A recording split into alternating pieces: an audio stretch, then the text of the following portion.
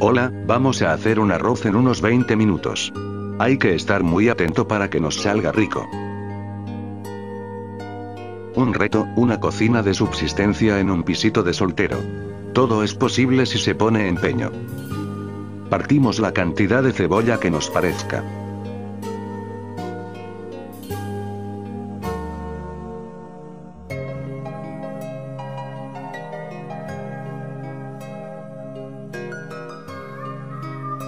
Más cebolla. La cebolla es muy buena. Buscar las propiedades de la cebolla en internet y veréis. En la antigua Roma, se consumía para aumentar la libido, y en la Edad Media, la planta fue prohibida en muchas casas religiosas justamente por ello.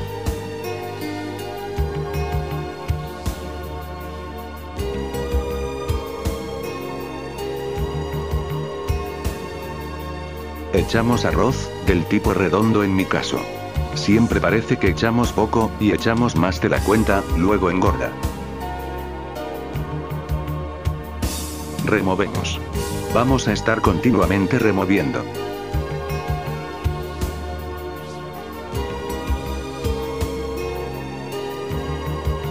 Vamos a trocear pimientos, rojos y verdes, una paella de verduras sin límites.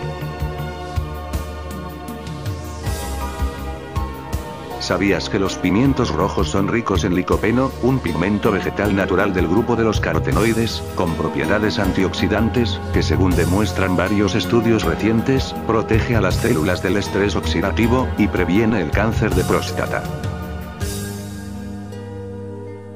Se considera que un pimiento verde contiene dos veces más vitamina C, que una naranja.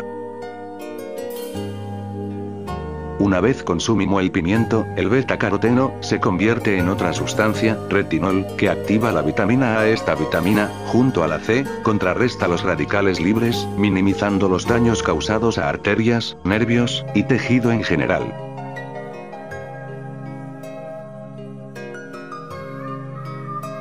Mientras más mayores nos hacemos, más tendencia hay a padecer cataratas. Estas surgen debido a la oxidación de las células en el cristalino ocular. Por ello es recomendable una ingesta regular de antioxidantes para reforzar la defensa de los ojos frente a la intrusión de radicales libres. Los pimientos son excelentes para esta función.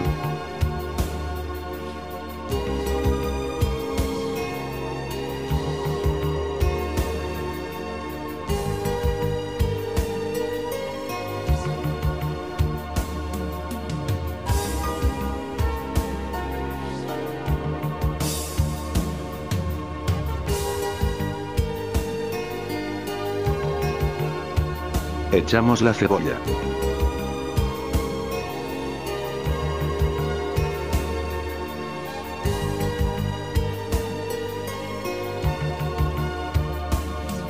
Echamos los pimientos, rojo y verde.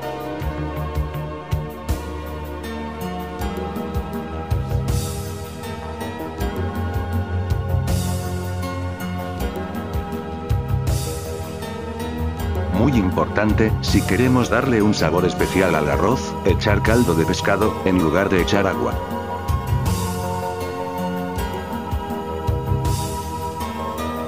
Echaría pavo, pero hice arroz con pavo hace poco, y no quiero repetir, jajaja. Un poquito de carne picada de ternera y cerdo.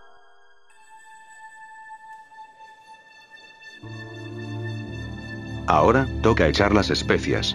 Cebolla en polvo. Luego, ajo en polvo, perejil, y azafrán para dar color amarillento al arroz.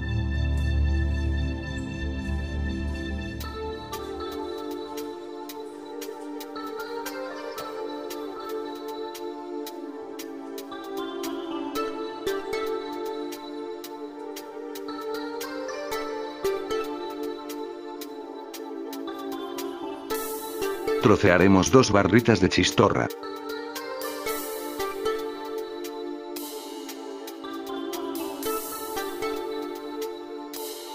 Es muy importante no dejar de removerlo, para que no se nos queme. También, debemos de ir catándolo. Si estuviera duro al final del proceso, debemos de echar más caldo de pescado, o, de no tener ya, un poco de agua. El arroz tiene que estar blando y a nuestro gusto.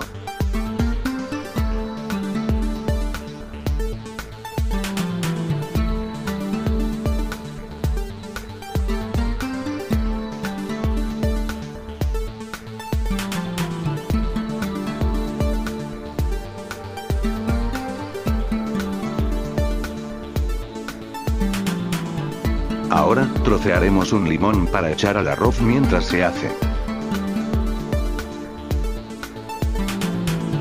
Suscríbete a mi canal, dale like si te ha gustado este vídeo, y dime si quieres que siga en la cocina. Me está gustando más cocinar, que comer. Jajaja.